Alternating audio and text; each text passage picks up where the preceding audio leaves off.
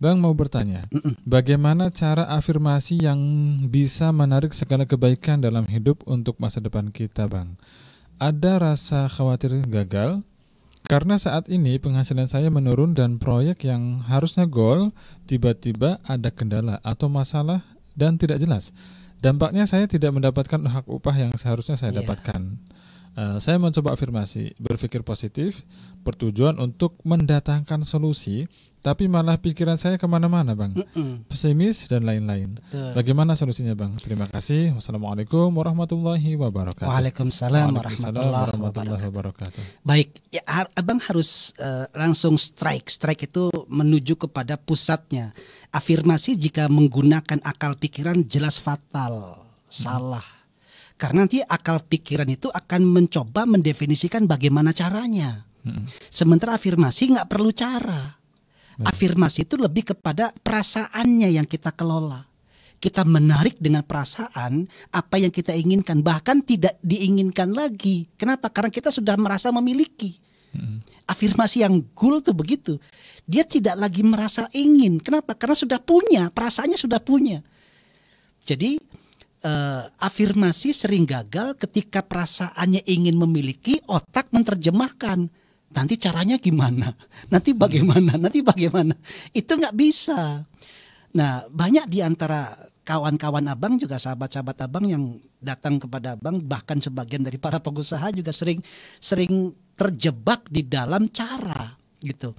Dia katakan bang, saya usahanya lagi begini, saya pengen maju, caranya begini, caranya begitu, semuanya. Saya katakan anda sibuk dalam mempengaruhi, dalam memperbaiki cara.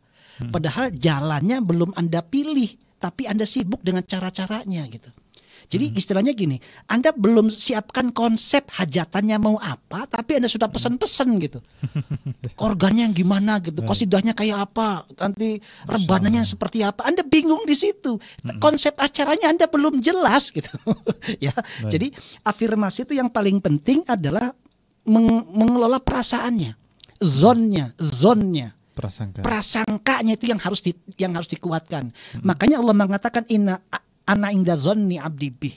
Ana inda zonni abdi bih itu maknanya bahwa Allah bergantung kepada bagaimana zon kita, prasangka kita. Baik. Maka perasaan kita yang kita kelola. Jangan naik kepada logika. Sehingga tadi dia mencoba untuk berbagai macam cara, tapi kok akhirnya begini bang, akhirnya begitu bang. Itu jadi makin stres, makin semakin menunjukkan kepada perasaannya, ah ini nggak bener nih, ah ini kok jadi begini, makin kacau perasaannya. Buang dulu, buang dulu pikirannya, buang dulu ya Rob. Bukan ini aku kehendaki ya Rob. Damaikan hatiku ya Rob. Wahai jiwaku damailah engkau. Bisa jadi masalahnya bertumpuk, tapi ada yang mampu menyelesaikan masalah ini bahkan masalah yang besar Allahku maha besar Mm-mm. gitu itunya yang ditanamkan jadi Baik. kalau sesuatu yang datang kepadaku bertubi-tubi rahmat Allah jauh lebih besar Mm-mm. jadi ditenangkan didamaikan tentang bagaimana caranya ya Rob otakku sangat kecil kepandaianku terbatas. Ilmuku sedikit. Untuk menjawab semua persoalan nggak mungkin. Maka bimbing aku ya Rob temukan aku dengan orang-orang baik. Lapang lagi dadanya. Baik. itu saja sebetulnya. Jadi perasaannya dikelola jangan lari kepada logika. Apalagi pikiran. Udah salah jalan itu. Jadi yuk perbaiki prasangkanya perbaiki zonnya Eh, rasakan rasa syukur tiap hari ya Allah. Terima kasih hari ini baik sekali. Semoga hari ini mendapatkan keberkahan yang begitu banyak. Alhamdulillah ya Allah. Bang pagi-pagi bangun sebelum sholat subuh itu yang dilakukan. Mm-mm. ketika dia sholat sunnah dua rakaat sebelum subuh lebih baik dibanding dengan dunia dan seisinya. Berarti ya Rob hari ini aku mendapatkan lebih baik. Itu ditanamkan. Islam mengajarkan itu. Dua rakaat sholat sunnah sebelum subuh nilainya lebih baik dibanding dengan dunia dan seisinya.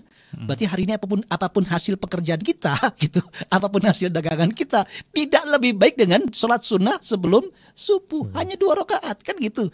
Kalau itu ditanamkan, diajarkan kepada perasaan kita, insya Allah begitu pada sholat subuh, pagi menjelang, semuanya dilakukan aktivitasnya, kebaikannya semakin datang kepada kita banyak sekali. Insya Allah ada.